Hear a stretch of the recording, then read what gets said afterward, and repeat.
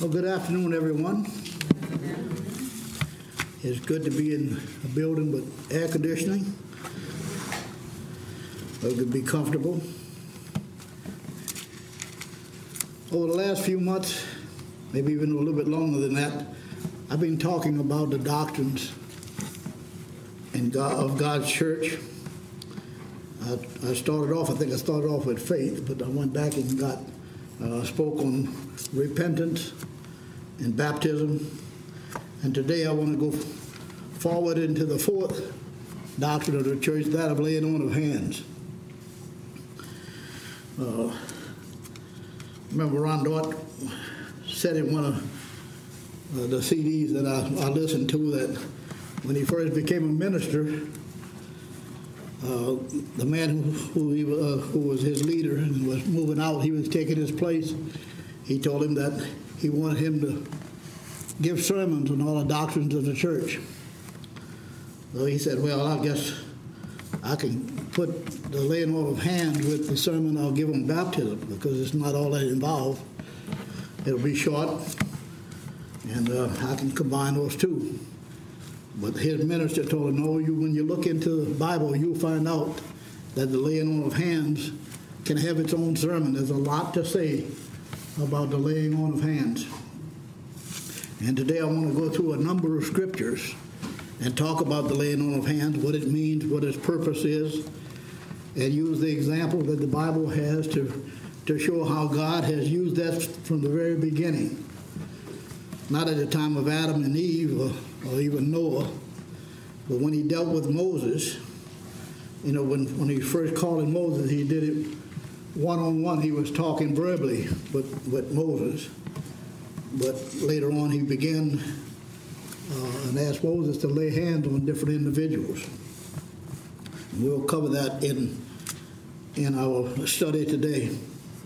So I want to review all, a number of, of, of scriptures to see how Jesus, our high priest, used the laying on of hands to do the work that the Father sent him to do. And today we're using that same system because that's what Jesus Christ wanted us to do. Let's begin by turning to Hebrews chapter 5. Hebrews chapter 5, and we'll begin reading in verse 7.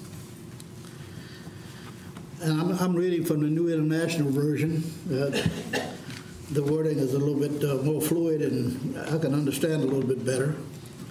It says, During the days of Jesus' life on earth, he offered up prayers and petitions with loud cries and tears to the one who could save him from death, talking about the Father.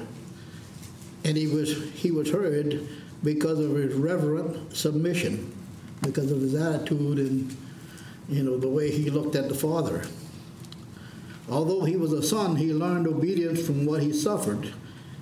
And once made perfect, he became the source of eternal salvation for all of us who obey him and was designated by God to be the high priest in the order of Melchizedek.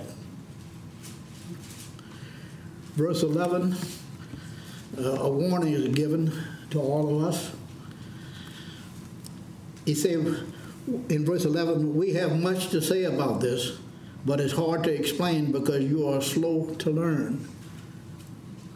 In fact, though by this time you ought to be teachers, you need someone to teach you the elementary truths. And I guess you could say that uh, laying on of hands is one of the elementary truths. It's one of the foundational truths in the Bible, and it's foundational to the Church of God. He said you need milk, not solid food. Anyone who lives on milk, being still an infant, is not acquainted with the teachings about righteousness. But solid food is for mature, uh, for the for the mature, who by constant use have trained themselves to distinguish good from evil. Notice he says we have to be constant in learning God's truth. And verse 1 of chapter 6, he says, Therefore, let us leave the elementary teachings about Christ and go on to maturity, not laying again the foundation of repentance from acts that lead to, to death, that lead to sin, and of faith in God, instructions about baptism, uh, and the faith of God, instruction about baptism and the laying on of hands, and the resurrection of the dead, and eternal judgment. And God permitting, we will do so. Now, this is another part of the warning.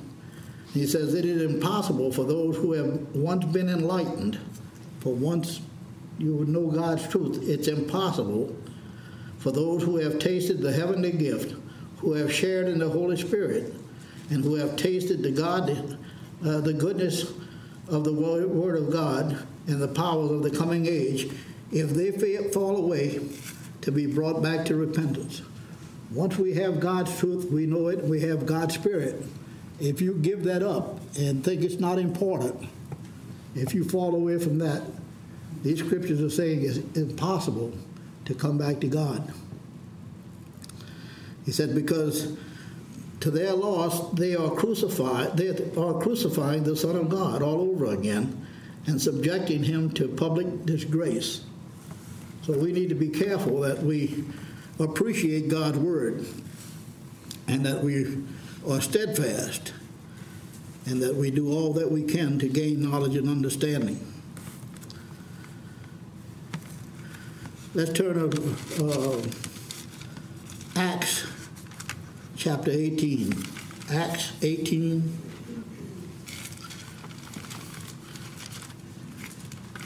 We'll see an example of, of Paul as he traveled. Acts chapter 18, and we'll begin reading in verse 23. Paul, as he, as he was accustomed to, was traveling from, from uh, different places out in, uh, between Antioch and uh, Corinth. Now, we always talk about Corinth, but we don't realize how big of a city it was. You know, at different times in in history, the population fluctuated quite a bit. At one time, there were 200,000 men and over 500,000 slaves. And the population grew and grew at different times and were almost the size of New Orleans at one time, especially after the, uh, the hurricane and all the people moving out of New Orleans. Corinth had a population almost equal to New Orleans. That's a huge city. And sometimes we don't realize that.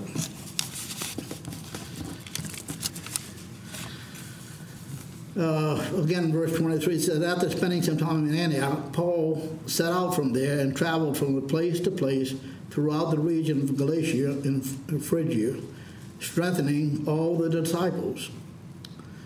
And meanwhile, a Jew named Apollos, a native of Alexandria, called, uh, came to Ephesus. He was a learned man and with thorough knowledge of the scriptures. He had been instructed in the way of the Lord, and he spoke with great fervor, and he taught about Jesus accurately. So he knew God's word, and he was teaching God's truth.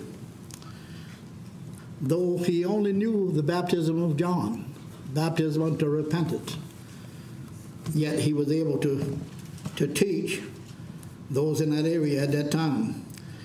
Say, he began to speak boldly in the synagogues. And when Priscilla and Aquila heard him, they invited him to their home and explained to him the way of God more adequately. When Apollos wanted to go to uh, uh, the brothers encouraged him and wrote to the disciples there to welcome him. On arriving, he was a great help to those who by the grace had believed for he vigorously refuted the Jews in public debate, proving from the scriptures that Jesus was the Christ. Now, while uh, verse uh, chapter 19 verse 1 said, while Apollos was at Corinth, Paul took the road through the interior and arrived at Ephesus. There he found some disciples and asked them, Did you receive the Holy Spirit when you believed? And they answered, No, we haven't we have not even heard that there is a Holy Spirit. Now, Apollos was teaching about baptism. And he said, uh, then what baptism did you receive? And it said, John's baptism. But Paul said, John's baptism was a baptism of repentance. He told the people to believe in the one coming after him, that is, Jesus. On hearing this, they were baptized into the name of Jesus. Now, we would use the term they were rebaptized. Actually, the, the, the first baptism was void, wasn't valid, was incomplete because they didn't baptize in the name of Jesus Christ. One that Paul baptized them in verse 6, he said, When Paul placed his hand on them, the Holy Spirit came to them, and they spoke in languages and prophesied. There were 12 men in all. So we see that some individuals were baptized, but they didn't have the ceremony of the laying on of hands, so they didn't receive God's Spirit. And actually, Apollos was not, uh, it wasn't ordained to, to be able to baptize them. He didn't have that authority. So he was not allowed to, to lay hands on them and uh, allow them to have God's Holy Spirit. Let's turn to Acts chapter 13.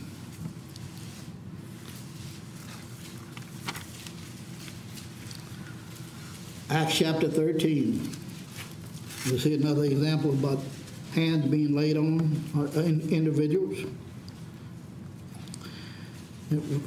Acts 13, verse 1 says, In the church at Antioch, there were prophets and teachers Barnabas, Simeon called Niger, Lucius of Cyrene, Manaen, who had been brought up with Herod the Tetrarch, and Saul. He said, While they were worshiping the Lord and fasting, the Holy Spirit said, Set apart for me Barnabas and Saul for the work to which that I have called them. So after that, they had fasted and prayed, and they placed hands on Saul and Barnabas, and then they sent them off. They had a, God had a responsibility that He wanted them to take care of. Well, we see that these men were sent as apostles. They were not of the original 12, but God said He wanted to set them apart. So He had the individuals lay hands on them, the disciples to lay hands on them, so that they could go about His business. If you want to read uh, more about that, where, he, where they were sent, you can look in Acts 14, verses 21 28. I don't, we don't have time to go through that, but if you would like to see that, then you could read those scriptures. When an individual is ordained to an office of greater service in God's work, hands are laid on him. That way they receive God's Holy Spirit. God's ministers pray over them, asking Almighty God, the, the head of this church, to continue to work with them and setting them apart to be used as He chooses.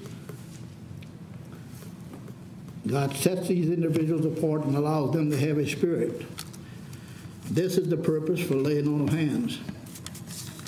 Imparting God's Holy Spirit, His power, His authority is done through the laying on of hands. In every case where the laying on of hands has been administered, it has set apart an individual for a special service. That's the method that God chose it, uh, as a form in his government to receive his Holy Spirit, to be set apart. Let's turn to Genesis chapter 48. Genesis 48.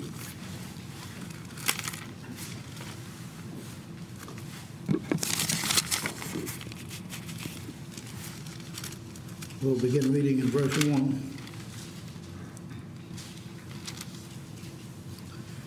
Genesis 48, verse 1, he says, Sometime later, Joseph was told that his father is ill.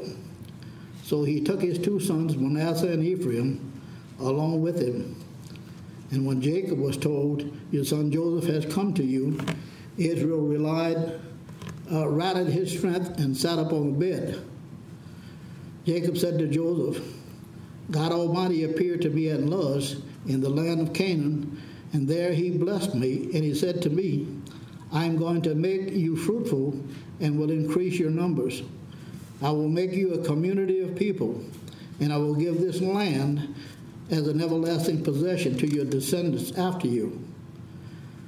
Now then, your two sons born to you in Egypt, before I came you, uh, to you, here will be reckoned as mine.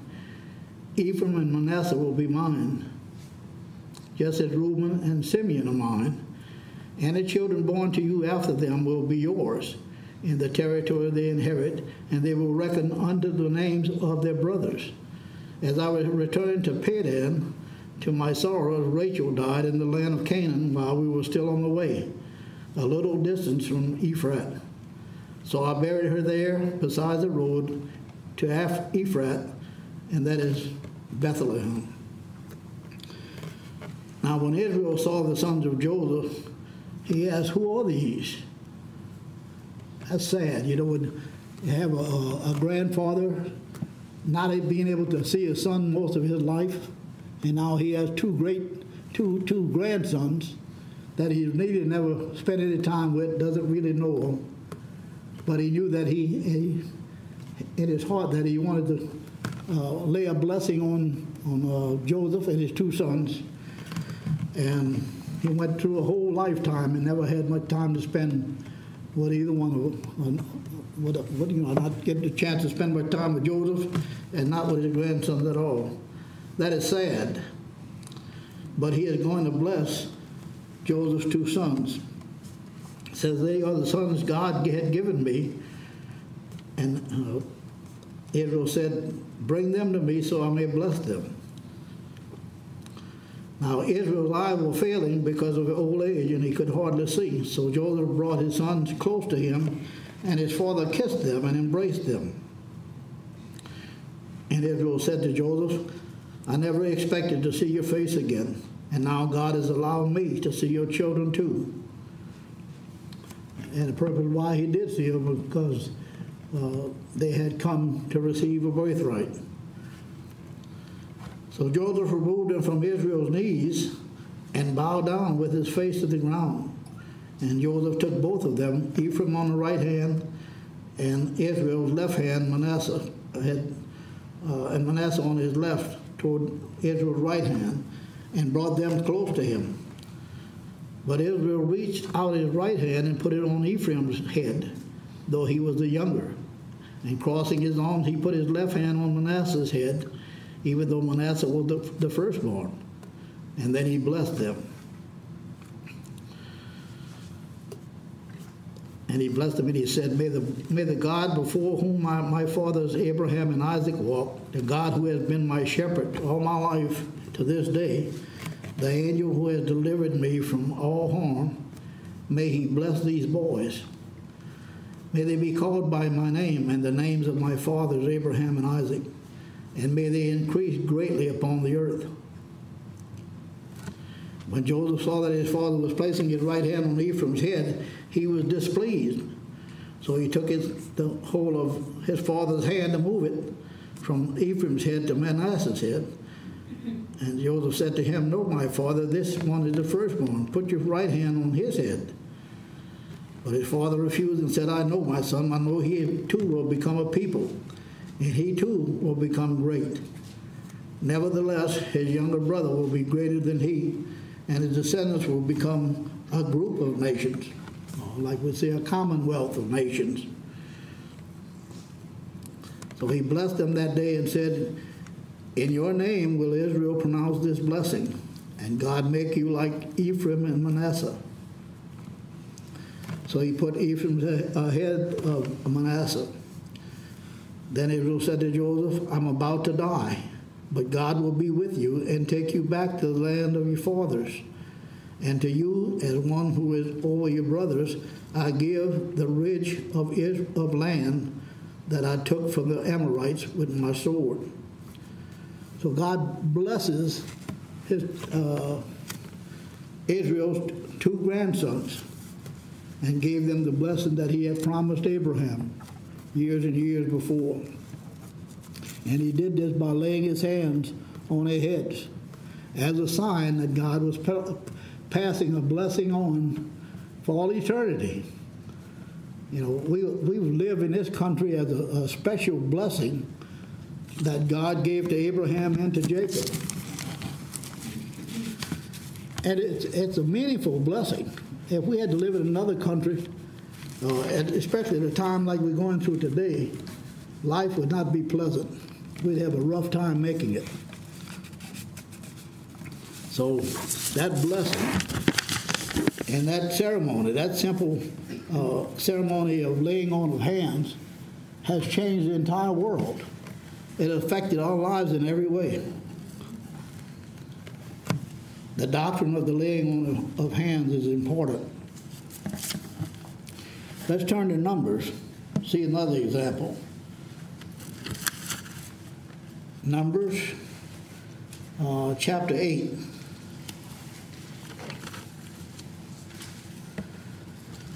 We'll begin reading in verse 5. Numbers 8, verse 5. The heading above these verses is the setting apart of the Levites. The Lord said to Moses, Take the Levites from among the other Israelites and make them ceremonially clean. To purify them, do this sprinkle the water of the cleansing on them, and have them shave their whole bodies, and wash their clothes, and so purify them. Have them take a young bull with his grain offering of fine flour mixed with oil. Then you are to take a second young bull for a sin offering. Bring the Levites to the front of the tent of meeting and assemble the whole Israelite community. You are to bring the Levites before the Lord, and the Israelites are to lay their hand on them. So again, we see another uh, ceremony being conducted to transfer blessings and transfer responsibility to the tribe of Levi. The Aaron is to be present. Uh, Aaron is to uh, present the Levites before the Lord as a wave offering for, from the Israelites so that they may be ready to do the work of the Lord. They're being set apart to do a work, a priesthood. This is a major event that's taking place in the, the life of the Israelites.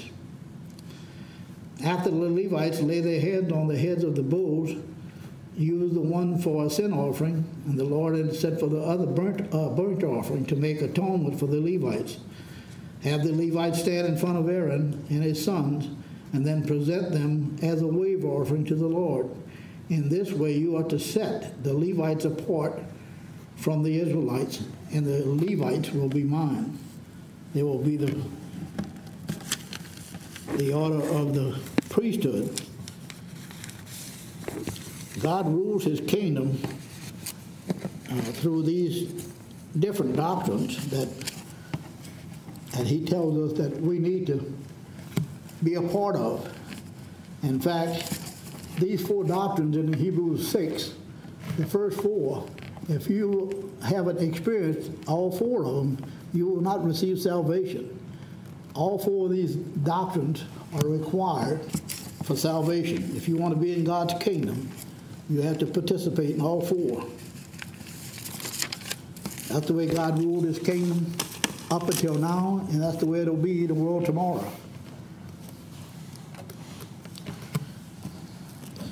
Let's turn to Numbers chapter 27.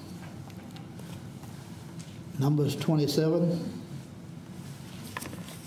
another example of an individual being set apart for a great service. We'll begin reading in verse 12. Numbers 27 and verse 12. This is where Joshua is, Joshua is to succeed Moses. And the Lord said to Moses, Go up, the, up this mountain in the Abarim uh, range and see the land uh, that I've given to the Israelites. After you have seen it, you too will gather, be gathered to your people, as your brother Aaron was. He's telling Moses, you go up to this mountain and take a look. He said, after this, you will die, just like your brother Aaron died. He said, uh, as your brother Aaron was. For when the communi- uh, community rebelled at the waters in the desert of Zin, both you, both of you disobeyed my command to honor me as holy before their eyes. These were the waters at Meribah, Kadesh, in the desert of Zin. Moses makes no comment. Moses said to the Lord, May the, may the God of the spirit of, of mankind appoint a man over this community to go out and come in before, uh, before them, one who will lead them out and bring them in so the Lord's people will not be like sheep without a shepherd. When I said Moses didn't make a comment, he didn't make a comment about him dying at that time. But God did give him instructions, and, and Moses was telling God that the Israelites needed a leader. So the Lord said to Moses, Take Joshua, the son of Nun, a man in whom is the Spirit. So Joshua had God's Holy Spirit before uh, Moses was, was told to, to choose him. He says, So the Lord said to Moses, Take Joshua, son of Nun, a man in whom is the Spirit, and lay your hands on him have him stand before Eleazar the priest and the entire assembly and commission him in their presence. Give him some of your authority so the whole Israelite community will obey him. Uh, he is to stand before Eleazar the priest, who will obtain decisions for him by inquiring of the Urim before the Lord. At his command, he and the entire community of Israelites will go out. At his command, they will come in. So Moses did as the Lord commanded him.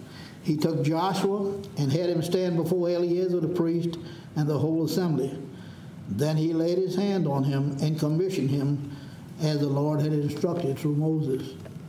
This is a ceremony that was done publicly. Other individuals participated in it and it was very meaningful. Let's turn uh, to chapter 8 of Acts. Acts chapter 8.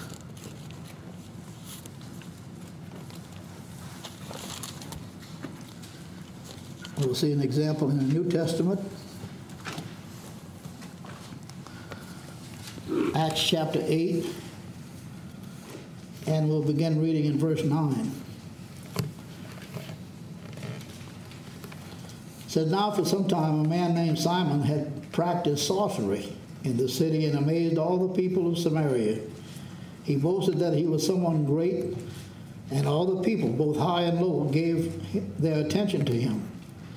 This man is a divine power known as the Great Power. They followed him because he had amazed them for a long time with his magic.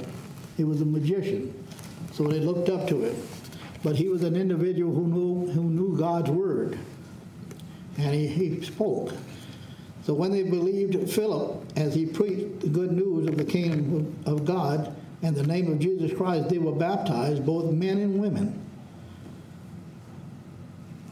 Simon believed, Simon himself believed that he uh, and was baptized.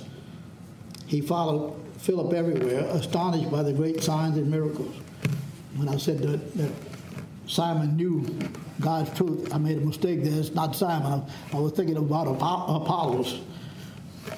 When the apostles in Jerusalem heard that Samaria had accepted the word of God, they sent Peter and John to them. And when they arrived, they prayed for them that they might receive the Holy Spirit, because the Holy Spirit had not yet come upon them. Um, Philip was the one that was doing the teaching. Uh, he had not been uh, ordained to, uh, you know, to baptize them and allow them to be have hands laid on where they would receive the Holy Spirit. When they arrived, they prayed for them and they might receive the Holy Spirit because the Holy Spirit had not yet come upon any of them, that they had simply been baptized into the name of Jesus. So Peter and John placed their hands on them and then they received the Holy Spirit. A story about Simon in verse 18. Simon saw that the Spirit was given at the laying on of the hands of the apostles. He offered them money and said, Give me also this ability so that everyone on whom I lay my hands may receive the Holy Spirit. Now, when, a, when an individual is ordained and set apart for a special purpose, like a minister, there are, there are special gifts that, are, that they receive, you know, during the laying on of hands. And uh, uh, Peter and John, uh, Peter had uh, the gift of discernment. And he answered in verse 20, he said, May your money perish with you because you thought you could buy the gift of God with money. You have no part or share in this ministry because your heart is not right before God. Repent of this wickedness and pray to the Lord. Perhaps He will forgive you for having such a thought in your, in your heart. For I see that you are full of bitterness and captive to sin. Though Peter could see right through him, he knew that he wasn't submit, being submissive to God's government and that he wasn't willing to make changes in his life and he was not going to receive God's Spirit. And so Simon said, Pray to the Lord for me so that nothing you have said may happen to me.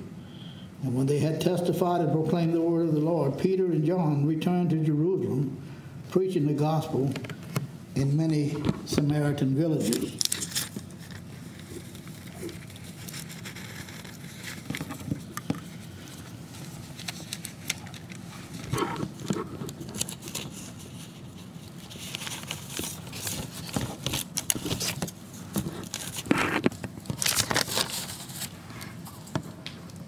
So we see how see here how important you know uh, the, the laying on of hands means, and we realize that it's an important ceremony in the Church of God today.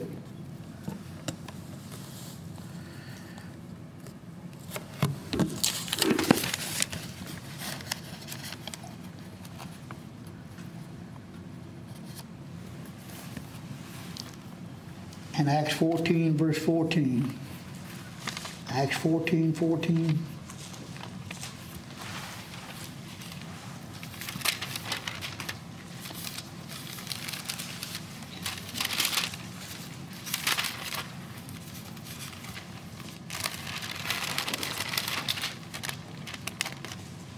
In fact, let's back up to Acts 13. It says in the church of Antioch there were prophets and teachers, Barnabas and Simeon, called Niger.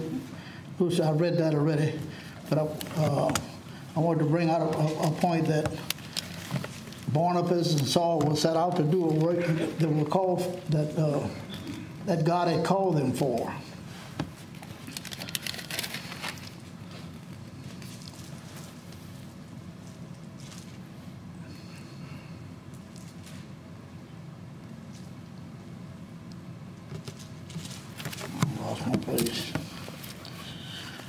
Let's turn to 1 Timothy. 1 Timothy.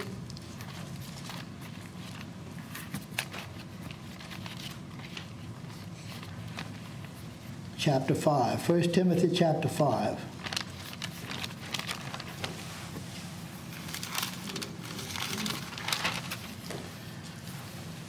And we'll begin reading in verse 22.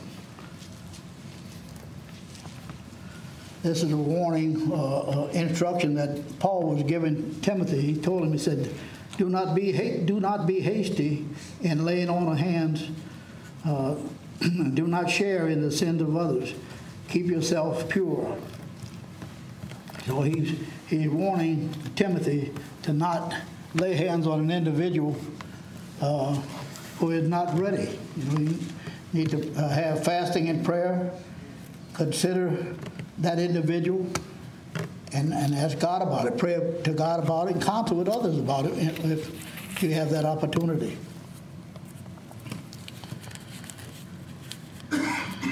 First Timothy 4, chapter 4, and verse 14.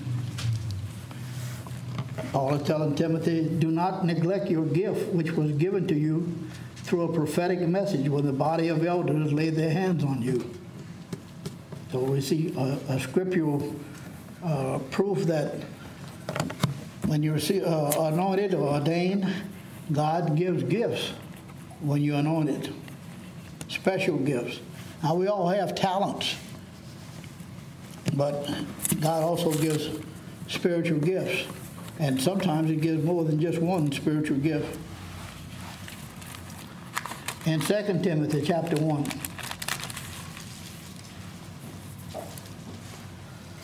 Second Timothy chapter 1, we'll read verses 6 through 9. Again, this is Paul talking to Timothy, encouraging in him. He said, For this reason I remind you to, to fan the flame of the gift of God, which is in you through the laying on of my hands. For God did not give us a spirit of timidity, but a spirit of power and of love and of self discipline. The King James says he given us a, a gift, a sound mind. That do not be ashamed to testify about our Lord or ashamed of, of me, his prisoner, but join with me in suffering for the gospel by the power of God, who has saved us and called us to a holy life, not because of anything that we have done, but because of his own purpose and his grace. God tells us to, to uh, fan the flame of God's Spirit in us. And we, all of us have received a gift at baptism. All of us have been anointed and had the laying on of hands at baptism. A gift was given to each one of us. Every one of us has a special gift. And sometimes we don't, we don't know all the gifts that we have, but God says to fan into flame the special gift that was given to you.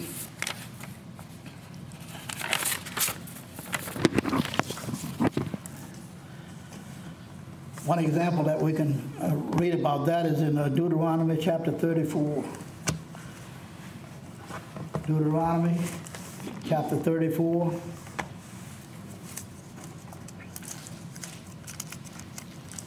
This is the example of, of uh, Joshua and verse 9.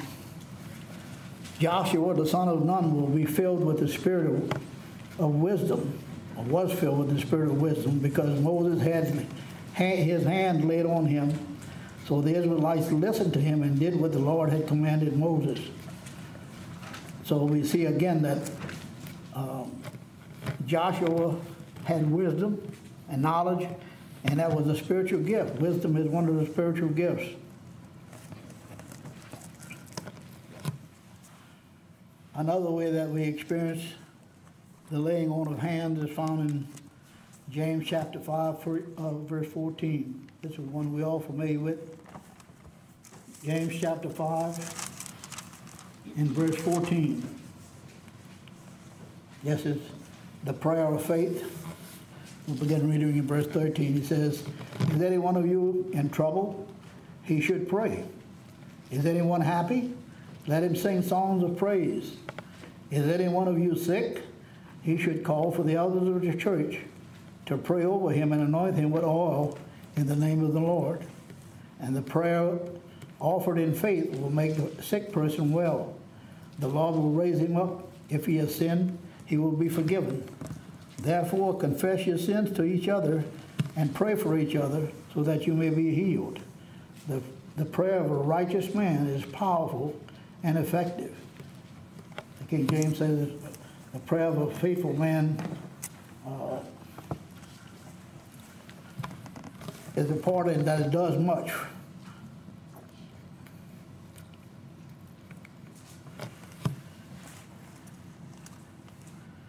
Let's turn to Mark chapter 16. Mark 16.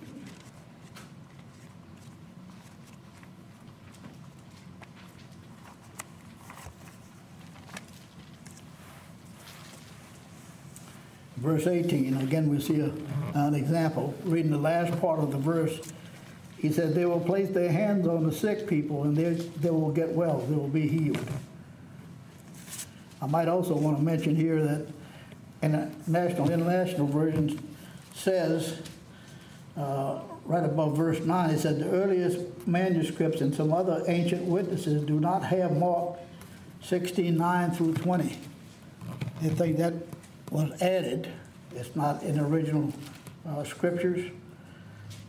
In the footnote, it says, "Serious doubt exists as to whether these verses belong to the Gospel of Mark. They are absent from the important early manuscripts and display certain peculiarities of vocabulary, style, and theological content that are unlike the rest of Mark. His gospel probably ended at verse 8, or its original ending may have been lost. Got just a sidelight, but as a possibility that, that from verse 9 through, um, I guess at 20, should not be in the scriptures. Many thousands of people have seen the proof of God's healing. I know many of us have seen individuals be anointed, have hands laid on them, and those individuals were healed. God has shown that through history. You know, give, give us examples of individuals who were healed by the laying on of hands.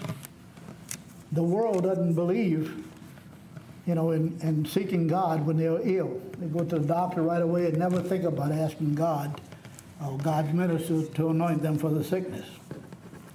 And the reason for that is their carnal mind is the enmity against God. In Romans 8, verse 7, it says that the, the mind is carnal, that it's against God. They're not subject to the law, neither indeed, indeed can be.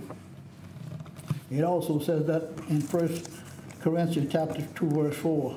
We won't turn there, but they don't understand that God's laws are important and that we are blessed by following God's instruction, by following His will. So when you go to God for healing, you are submitting your body to Jesus Christ. By the laying on of hands, you are symbolically setting apart yourself in God's sight, putting yourself under his authority and submitting your sick or injured condition to God's divine will as a living sacrifice. God tells us to be separate, to come out of this world. And when we show faith, and the faith and trust that we have in God by asking for the laying on of hands when we ill, it shows that we believe in God and we're willing to submit to God's government. That's the way it'll be in the kingdom. We have to have an attitude of doing what God says and of obeying God. The laying on of hands is just one of the major doctrines of God's church. It's important, and it, it has a lot to do with the Christian life, along with repentance, faith, baptism, uh, the, laying, the laying on of hands, and also uh, the next two would be uh, the resurrection and eternal judgment. God's doctrine are, are very important in the life of a Christian.